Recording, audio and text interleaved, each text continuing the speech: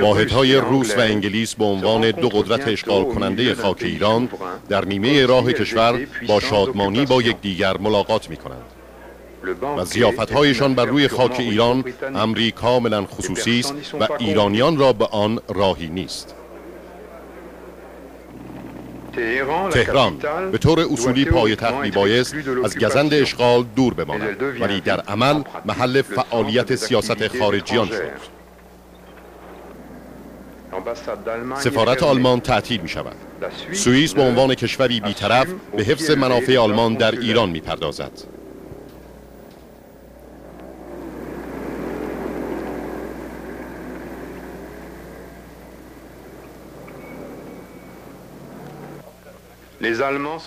آلمان ها توقیف و سپس از کشور اخراج می شوند رضا شاه با تمام قوا مشتاق فرار از زیر قدرت نفوذ روس و انگلیس بود.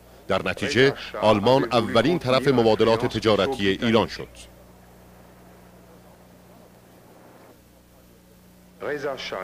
این یکی از آخرین قطع فیلم هایی است که رضا شاه را به همراه دو پسرش نشان می‌دهد.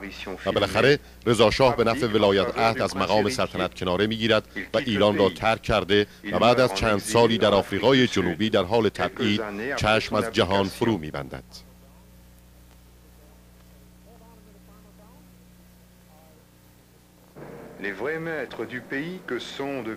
زمامداران واقعی ایران از زمان اشغال مجدد کشور یعنی سفرای روس و انگلیس مسلما بیشتر به فکر رفاه و جان سربازان خود بودند تا دوام و بقای حکومت ایران. بدین منظور به فکر افتادند که شاید یک حکومت جمهوری لرزان در ایران برایشان دردسر کمتری تا یک حکومت سلطنتی ایجاد کنند. پس ولایت عهد باید هر چه زودتر به فکر مستحکم کردن پایه های سلطنتش باشد.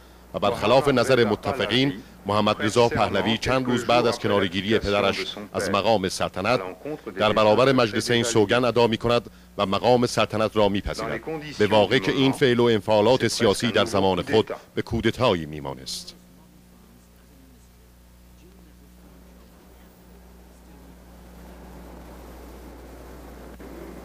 تهران در سال 1943 تهران محل اولین کنفرانس سران دول روس، آمریکا و بریتانیای کبیر است. کنفرانسی که سرنوشت ساز جنگ و دنیای پس از آن می باشد. در این زمان سران متفقین چندان توجهی به آینده کشور میزبانشان نمی کردند. این کنفرانس همزمان با نبرد سالینگراد در تهران برپا شد و به این ترتیب چرچیل به نمایندگی از طرف کشور انگلستان، روزولت از جانب آمریکا و استالین از دولت روسیه در ایران حضور یافتند. و نظر به مسائل امنیتی روزولت طی مدت زمان اقامتش در تهران در سفارت روسیه اقامت می‌گذارد. چرچیل به عنوان پیروزی روسها در نبرد استالینگراد علیه ارتش آلمان نازی شمشیری به نام شمشیر افتخار به استالین اهدا می کند. در این دوره کارشناسان نظامی انگلیس نظر می دهند که غالب شدن روسیه در جنگ استالینگراد علیه آلمان ها نه تنها پیروزی را نصیب خود روسیه نمود بلکه ایران را از دست آلمان ها رهانید.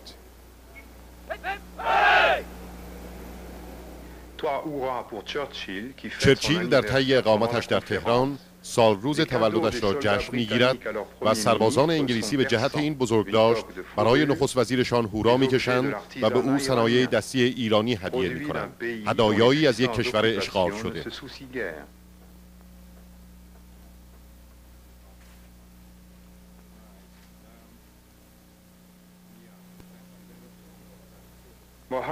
محمد رضا شاه به ملاقات چرچیل، روزولت و استالین می رود.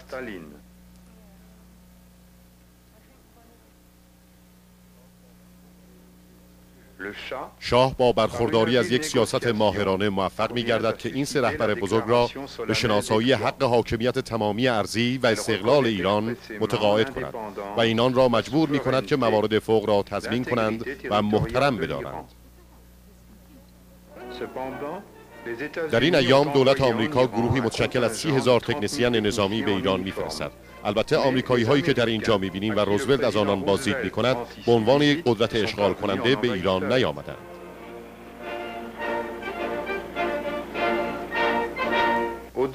به غیر از مخازن نفت ایران متفقین به دنبال منابع حیاتی دیگری هستند. برای استقامت بر ضد آلمان روسیه احتیاج مبرم به ساز و برگ جنگی بیشتری دارد ولی دورادور این کشور در بیشترین دوره سال پوشیده از برف و یخ می باشد و دیگر بنادر مورد استفادهش به طور مداوم از طرف زیردریایی های آلمان تهدید می گردند. در نتیجه چه راهی باقی می ماند؟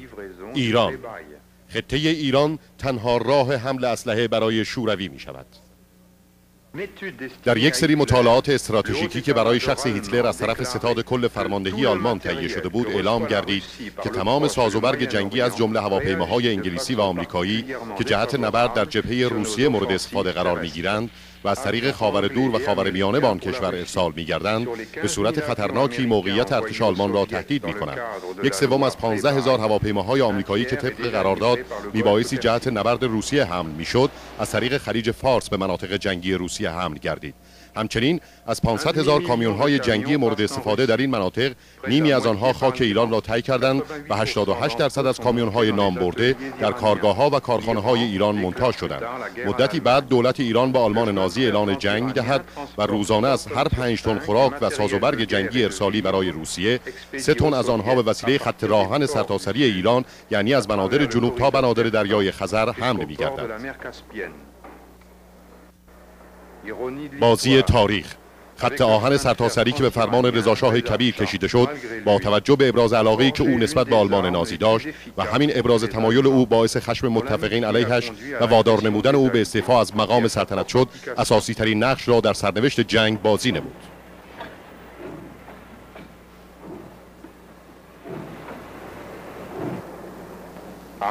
مگر که فقط به کمک این خط آهن ابزارالات جنگی آمریکایی تکافوی ایستادگی 60 لشکر روسیه را کرد و بنابر نتیجه متفقین ایران را پل پیروزی نام نهادند.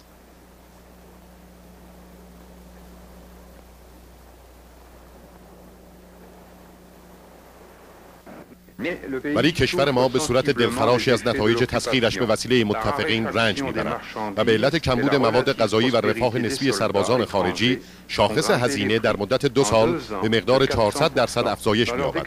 و با وجود قولی که متفقین جهت کمک اقتصادی به ایران در پایان مذاکرات سال 1943 دادند به علت طولانی تر شدن جنگ تمام این قولها نقض می‌گردند ارتش‌های اشغال کننده تنها عوامل خرد شدن کمر اقتصادی ایران نیستند.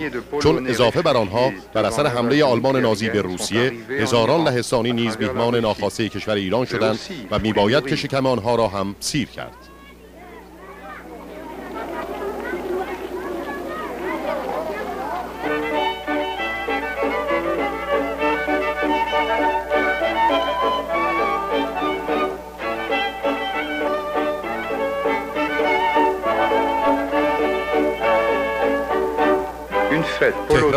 یک جشن مختلط لهستانی و ایرانی.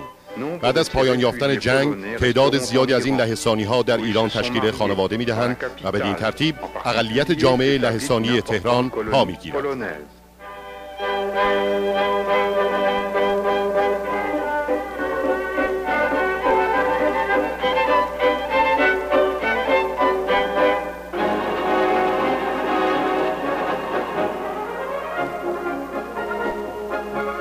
ولی مسلما اکثریت افراد بریگاد لهستان که برای جنگ علیه قوای هیتلر به ایران گسیل شده بودند بعد از اتمام این جنگ ایران را ترک می‌نمایند راستی نفوذ و قدرت یک شاه را در یک سرزمین تسخیر شده که نبض تمام قواعد و اصول آن کشور در دست قوای اشغال کننده است به چه سان می‌توان تعبیر کرد؟ و چطور می‌توان ثمرات و کوشش های رضا شاه را از لگت مال شدن نجات داد؟ در طی این جنگ روابط نزدیکی بین ایران و آمریکا به وجود آمد و در این زمان محمد رضا شاه به مشابه مهره اساسی بازی سیاست آمریکا علیه سیاست امپریالیستی دیرپای روس و انگلیس درآمد.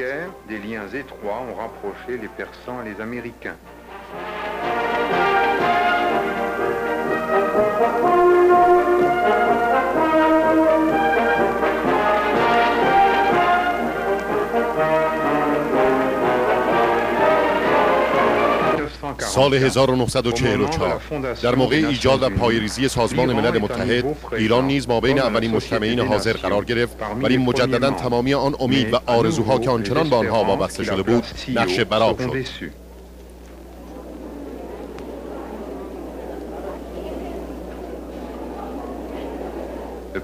ریاست جمهوری وقت آمریکا ترومن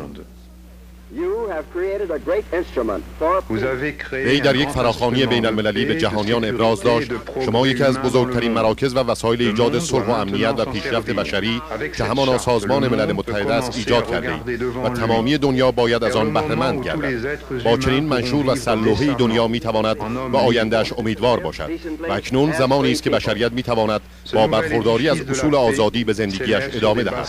این بنای صلح بر روی چنین اصول مستحکمی ایجاد گردید و ما هرگز نباید که به چنین امید و اقبال والایی لطمه بزنیم و آن را از کف بدهیم و باید که در سرتاسر کره خاک قانون حقانیت را برقرار سازیم تا به ترتیب با کمک خداوند صلح جاودانی را ایجاد بنماییم.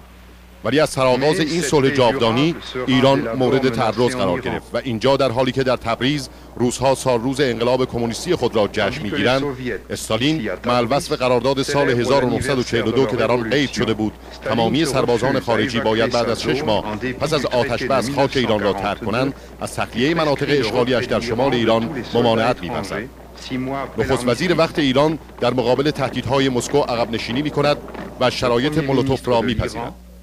و بدین ترتیب شرایط واگذاری نفت شمال به روسها و ایجاد یک دولت موافق خط مشی مسکو را در تبریز به رسمیت می‌شناسد. ولی در تهران پارلمان از تصویب این قراردادها سر باز می‌زند. شاه به نمایندگان ایران در سازمان ملل متحد دستور می‌دهد که این مسئله را در مجمع امنیت مورد بحث قرار بدهد. و بدین گونه جنگ سرد بین شرق و غرب آغاز میگردد Ainsi commence la guerre froide entre l'Est et l'Ouest. Between the Iranian government and the government of the Soviet Union, it has been agreed that the Red Army evacuate all Persian territory by the 6th May 1946. طبق مفاد حاصل از قرارداد بین ایران و شوروی ارتش سرخ می بایست که در تاریخ ششم می 1946 خاک ایران را ترک کند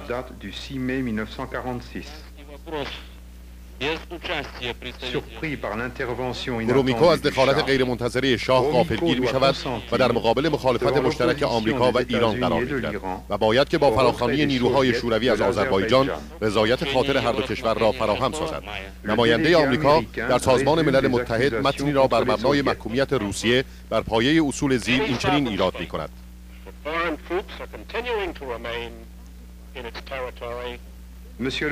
ریاست محترم جلسه. هر دولتی که قوای خارجی برخلاف میلش خاک آن را اشغال کند می‌تواند عطف به بند دوی قسمت چهار منشور سازمان ملل متحد علیه سوء استفاده از زور یا احساس خطر از امکان سوء استفاده از زور قوای متجاوز که مخالف با مصالح کشوری تمامیت ارضی و آزادیهایش باشد دادخواست اعتراض به سازمان ملل متحد بدهد.